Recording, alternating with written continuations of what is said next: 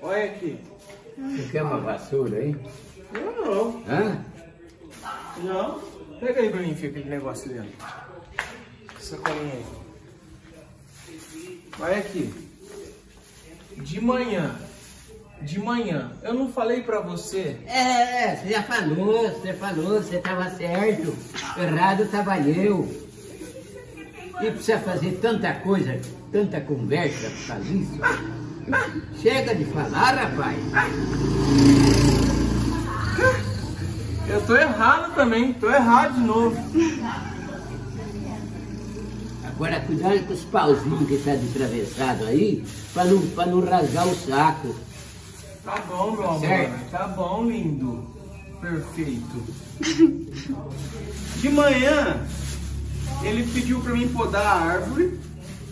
E depois ele falou assim: Caio, esses galhos aqui, ó, tem que amassar tudo e colocar no, no- na sacola. Eu Falei, tá bom, vô, vamos pegar uma sacola nova lá, né? Põe os galhos lá.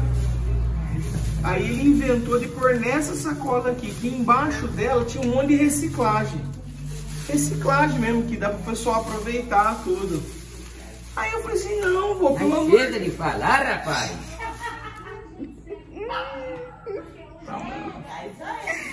Tô errado.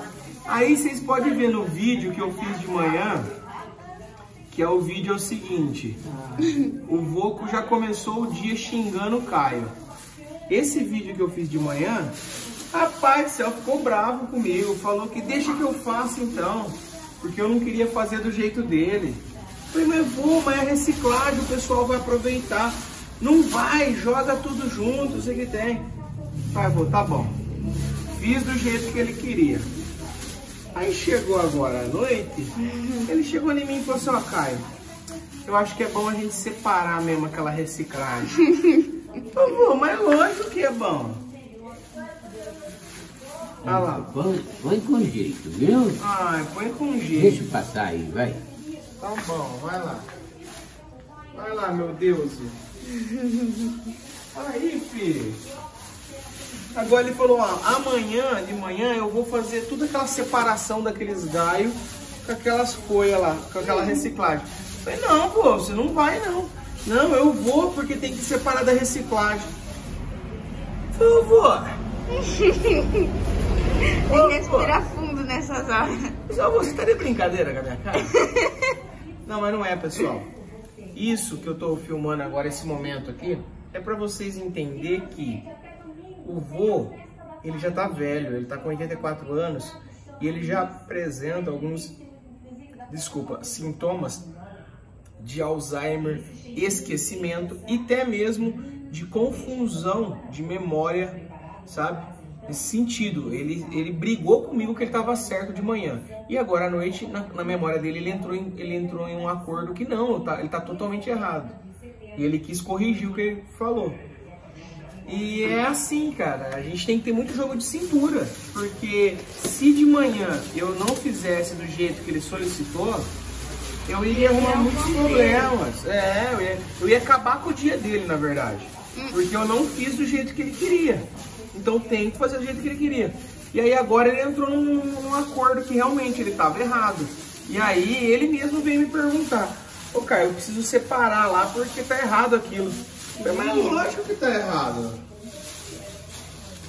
E volta o cão arrependido. Eu tô falando aqui, ele tá escutando, viu? Vou falar pra vocês que ele não tá, porque ele tá assim. Só que é o seguinte, né?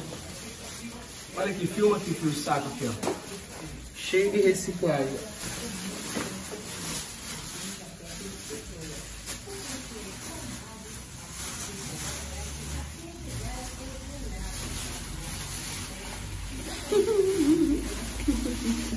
Tá vendo? Ai, meu dedo. Foi mal. Opa, tá difícil de Olha segurar. aqui, filho, filma a caixa aqui, essa daqui, ó. Pessoal entender. Essa daqui, ó. Tá vendo? Ela tava cheio de reciclagem. E ele me fez colocar, ó, na reciclagem as folhas. Aí agora ele entrou em um bom senso que ele tava errado. Vai. Pronto, acabou. Pronto. Pronto, né? Olha que Pronto. Até que senta no chão. Ó. Daí aí. Pronto. Rasgou tudo Ah, é assim mesmo. Cadê o papel que estava aqui? O saquinho que estava aqui? Já coloquei aqui dentro. Aqui. Tá sujo, hein? Tá sujo. Hum, hum, hum. Olha a emenda dele. Você rasgou tudo. Aí, pronto. Emendou. Ei,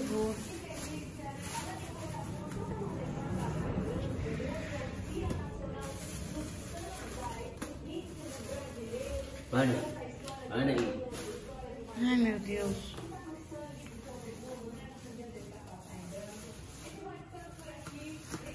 Aí, pode deixar.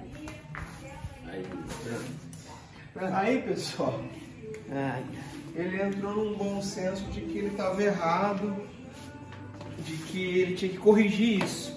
E eu sabia que se fosse para ele fazer isso, ia doer muito a perna dele, né? Eu falei, meu, vou fazer agora, né? Não vou deixar para fazer amanhã de manhã, apaga a farinha daqui.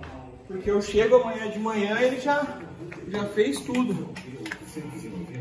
É assim, é, isso mostra, pessoal, o quanto a idade do vovô já vem afetando alguma, algumas coisas. E, e é exatamente, o segredo disso tudo está no jogo de cintura que a gente tem que ter aqui, no dia a dia. Às vezes a vovó tem 80 anos e ela tem que ter um jogo de cintura com o vovô. E é normal, é, é, a, é a realidade. Então às vezes as pessoas, acontece muito no canal, de julgar determinadas atitudes da vovó de 80 anos contra o vovô de 84. Mas o vovô também tem os seus. é, Altos e baixos. É, e, a- e aí acaba que afetando ela que tem 80 anos. E ela tem, e ela tem a 80 anos também, ela também é uma idosa. Então, às vezes a gente julga, julga, julga, mas a história a gente tem que entender ela por completo para tirar uma conclusão. Mas do mais é isso. Espero que vocês gostem.